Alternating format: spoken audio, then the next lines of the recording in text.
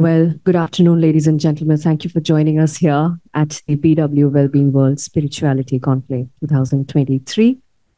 बहुत अच्छा लग रहा है आप सबको यहाँ देख के कि आज हम सब एकत्रित हुए हैं एक ऐसे कॉन्सेप्ट के बारे में बात करने के लिए जो हम सब मन ही मन फॉलो तो करते हैं और सोचते हैं हम हर रोज अपनी ज़िंदगी में उसे अप्लाई कर रहे हैं बट शायद कहीं ना कहीं कमी रह जाती है स्वामी जी अगर मैं आपसे पूछूँ कि इतनी भागती दौड़ती ज़िंदगी है हम सबकी। इसके बीच में, जैसे आपने बोला, हम बॉडी के लिए बहुत कुछ करते हैं बट अपने स्पिरिचुअल अपने सोल अपने मेंटल बैलेंस के लिए बहुत कम कर पाते हैं।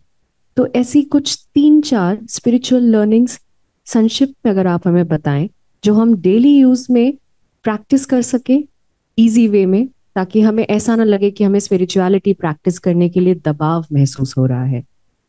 कभी कभी होता है जैसे जिम नहीं गए तो लगता है, अरे, जिम नहीं गए।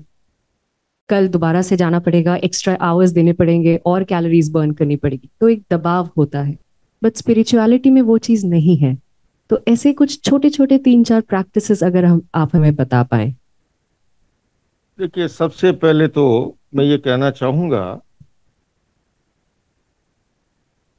मेडिटेशन का एक प्रकार है डीप ब्रीदिंग और डीप ब्रीदिंग को मैं अनेक बार कहता हूँ, सौ रोगों की एक दवा। जैसे मैंने अभी चर्चा की, जिनको गुस्सा अधिक आता हो, उसके नियंत्रण के लिए डीप ब्रीदिंग का प्रयोग कलर मेडिटेशन के साथ हम करवाते हैं। रामबाण अवस्थी है। जिनकी ये शिकायत हो कि मन अधिक भटकता ही भटकता रहता है, एक जगह केंद्रित नहीं होता है, और आप और हम सभी जानते हैं कि कंसल्टेटिव माइंड एकाग्रता, सफलता की कुंजी। और तीसरी अगर मैं बात कहूँ तो शारीरिक स्वास्थ्य के लिए जब हम छोटा श्वास लेते हैं और छोटा छोड़ते हैं तो ऐसे के अंदर जहरीले तत्व जमा होते जाते हैं और कालांतर में बीमारी के रूप में प्रकट होते हैं। डीप ब्रीदिंग का, और कोई लंबा समय नहीं, अधिक मैं नहीं कहूँगा, हमारे यहाँ तो प्रारंभ में ही कहा गया एक घड़ी आधी घड़ी राधी, मैं पुनाद। तुलसी संगत साधु की कठे कोटि अपराध। चौबीस घंटे का समय है हम सब के पास। अगर आप केवल चौबीस अड़तालीस मिनट का एक ऐसा समय अपनी बैटरी को चार्ज करने आजकल किसी के घर भी जाए ना तो सबसे पहले कहते हैं, अरे यार, चार्जर है क्या? मेरा मोबाइल चार्ज पे लगा। मोबाइल के चार्ज का पूरा ध्यान है। बैटरी बैकअप साथ लिए घूमते हैं, है ना? लेकिन इसकी बैटरी के चार्ज के लिए मैं कहूँगा, डीप ब्रीदिंग का एक छोटा सा प्रयोग। अगर आप करना चाहें तो एक एक मिनट के दो प्रयोग है। एक मिनट पहले तो आप ये नापिए, वर्तमान में क्या स्थिति है? और वो मैं इसलिए कह रहा हूँ, मेडिकल साइंस के अनुसार एक स्वस्थ व्यक्ति एक मिनट में सोलह सत्रह सांस लेता है। और जब हम आवेश और आवेग की स्थिति में होते हैं तो जितना उसका टेम्परेचर अधिक होगा, किसी भी प्रकार का आवेश हो, चाहे वो गुस्से का है, चाहे अन्य प्रकार का है, आपकी श्वास की गति बढ़ जाए। और गुस्से का भी एक वाइकल है। वो जब भी आपके भीतर प्रवेश करेगा, वो छोटे श्वास की सवारी करके आता अगर आपने डीप ब्रीदिंग को साध लिया दरवाजे तक आए हुए गुस्से को वापस लौटना पड़ेगा, ये दरवाज़ा बंद है, भीतर कोई आ नहीं सकता। उसी तरह से अगर डीप ब्रीदिंग है, दरवाजे तक आए हुए गुस्से को वापस लौटना पड़ेगा, आपके भीतर एंटर नहीं हो पाएगा वो। एंटर तभी हो पाएगा जब आपका श्वास छोटा हो जाए। तो डीप ब्रीदिंग के प्रयोग को मेडिटेशन से आप शुभारंभ कीजिए, और मैं ये दावे से कहता हूँ, केवल तीन महीने दस बीस मिनट के लिए इस प्रयोग को आप कर लें, आपके जीवन में नई क्रांति घटित हो सकती दूसरा प्रयोग मैं कहना चाहूँगा, सद साहित्य। आजकल ये अब कम हो गया है। ये जब से ये व्हाट्सएप का आया है ना, मामला, अब तो मेट्रो में क्या सड़क पार करते वक्त भी जो है आदमी लगा हुआ होता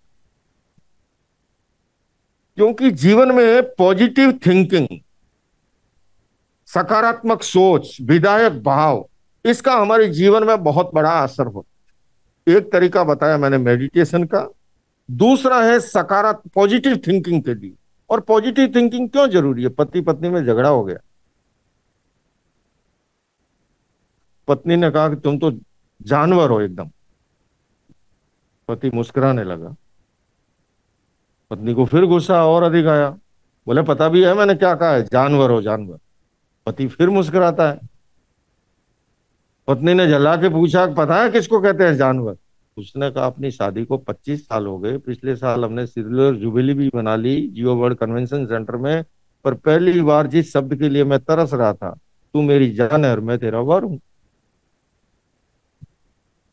ये कब संभव है जब पॉजिटिव अप्रोच हो? वरना कोई किसी को जानवर करे, कह दे थोपड़ा चेंज करके कांग्रेस पार्टी के चुनाव चिन्ह उकेड़ दे, है ना? तो मेडिटेशन स्वाध्याय। अगर इन दो आयामों को आप जीवन में जोड़ते हैं, इस संतुलन को पैदा करते हैं तो निश्चित रूप से जीवन और अधिक सुखद बन सकता थैंक यू थैंक यू वो दो टिप्स हम लोग कोशिश करेंगे अपनी ज़िंदगी में रोज़ाना अप्लाई करने की। बहुत सरलता से समझाई है स्वामी जी ने। आई थिंक हम सबको इससे अग्री करना भी पड़ेगा कि deep breathing and positive thinking I will come to a question sir एक चीज़ और पूछूँगी आपसे छोटा सवाल एक और। ज़िंदगी में बहुत आ, बारी ऐसा होता है कि हमें बहुत टफ डिसीजंस लेने पड़ते हैं। सिचुएशंस ऐसे होते हैं जहाँ पे मोरालिटी काम नहीं आ पाती है। काफ़ी टाइम होता है। ऐसे सिचुएशन में फंस गए जहाँ पे आपके मोरल वैल्यूज़ मोरल एथिक्स आपके क्वेश्चन हो जाते हैं उन पे। उस वक्त हमको एज अ ह्यूमन जब इतनी डिस्टर्बेंस माइंड में चल रही होती है, कौन सी ऐसी चीज़ों को दिमाग में रखना चाहिए, ध्यान में रखना चाहिए, उस सिचुएशन का डिसीज़न लेने के लिए कि क्या सही है और क्या हमें करना चाहिए? बहुत ही अच्छा प्रश्न किया संजना जी ने। मैं कहना चाहूँगा पीस ऑफ़ माइंड ये जितने भी तरीके हैं ना मेडिटेशन के, स्वाध्याय के, ये अलग अलग प्रकार जो है, मूलतः हम अच्छा डिसीज़न भी कब ले पाते हैं? जब हमारा मन संतुलित होता है। हमारा मन शांत होता है। एक बिजनेसमैन भी गुड डिसीज़न कब ले पाएगा? जब अगर उसका मन केंद्रित है, शांत है पीसफुल है। तो इसलिए ये जो प्रकार है, जितने भी साधना का कह दो आप, ये एक्चुअल में तो वे ऑफ़ लाइफ है, जीवन जीने की कला है, स्वस्थ में, सुखी और आनंदमय जीवन के मूल मंत्र है। इसको धर्म से, अध्यात्म से आप जोड़िए, मत जोड़िए, लेकिन अच्छा जीवन जीने के लिए, मानता हूँ मैं कि जीवन में अनेक उतार चढ़ाव आते हैं, और ऐसे समय में व्यक्ति गाड़ी लेके जा रहा था, ट्रैफ़िक पुलिस वाले ने देखा, संध्या का समय, गाड़ी की लाइट नहीं है। रोकने की चेष्टा की, भैया, गाड़ी कहाँ दौड़ा रहे हो? इसके लाइट ही नहीं। है ड्राइवर ने कहा, बीच में से हट जाने तो मारा जाएगा, इसके ब्रेक भी नहीं। मैं आपसे पूछना चाहूँगा कि वो आदमी कितना खतरनाक होगा, जिसके अपने इमोशंस पे कंट्रोल नहीं है, जिसके अपने पेशेंस पे कंट्रोल नहीं तो अपेक्षा इस बात की है कि अपने इमोशन इमोशंस और पेशेंस पे कंट्रोल के लिए और अपने इंट्यूशन पावर जिसका जागृत नहीं है। तो इंट्यूशन पावर को जागृत करने के लिए इमोशंस और पेशेंस पर नियंत्रण के लिए फिर से दोहराऊँगा। अब अलग अलग प्रकार है, जैसे समृद्धि श्वास प्रेक्षा, अनुलोम विलोम जिसको बोलते हैं। रिलैक्सेशन का प्रयोग है, जो कि तनाव मुक्ति के लिए कराते हैं पीसफुल माइंड के लिए पीस ऑफ़ माइंड के लिए करवाते हैं।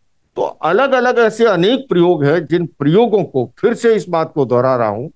बिल क्लिंटन मुझे मिले अहमदाबाद में। मैंने उनसे कहा कि आप नॉन वायलेंस पीस पे कॉन्फ्रेंस करते हो। मेरे हिंदुस्तान में तो एक एक सन्यासी लाखों की भीड़ जुटाता है।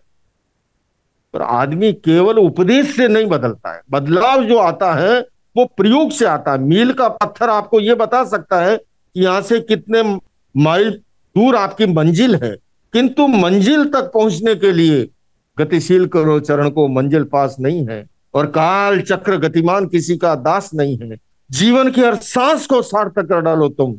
सांसों में पल भर का विश्वास नहीं है। तो आइए बंधुओं, उन प्रयोगों को जीवन में अप्लाई कीजिए तो निश्चित रूप से बदला।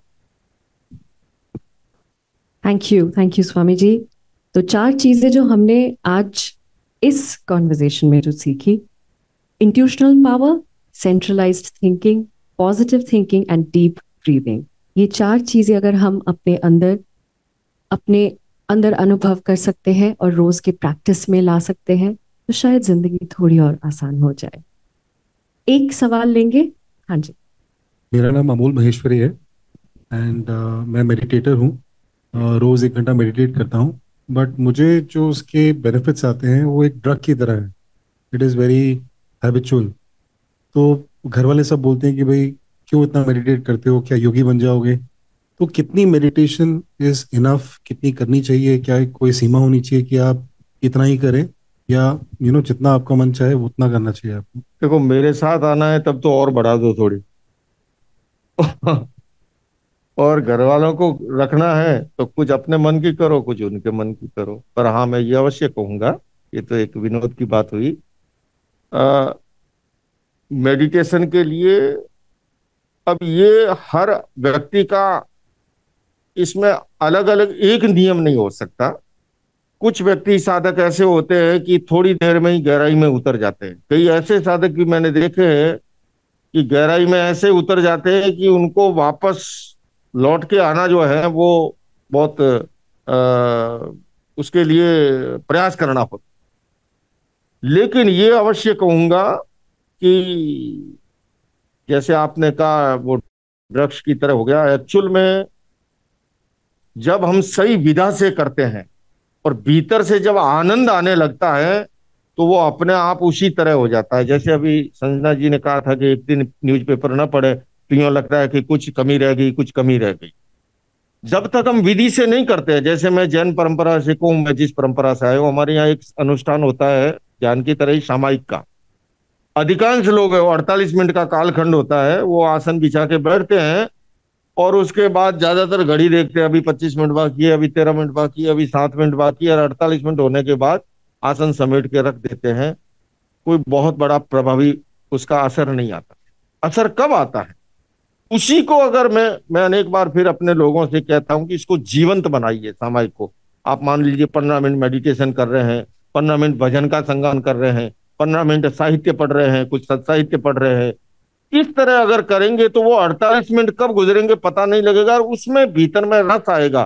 फिर आप एक दिन छोड़ भी नहीं पाओगे। तो ये तो महाशय बहुत अच्छी आदत है कि उसको आप उस तरह कर रहे हैं। मुझे लगता है कहीं ना कहीं ध्यान सदा है और अंदर से आनंद है। अब जहाँ तक बात परिवार की है तो संतुलन ज़रूरी है। सारी चर्चा ही संतुलन पे हुई। Thank you thank you for the question sir Swami ji अनेक अनेक धन्यवाद आपको। आज हमारे यहाँ पे आने के लिए और स्पिरिचुअलिटी कॉन्क्लेव का पार्ट होने के लिए। Thank you so much ladies and gentleman one big round of applause for Swami ji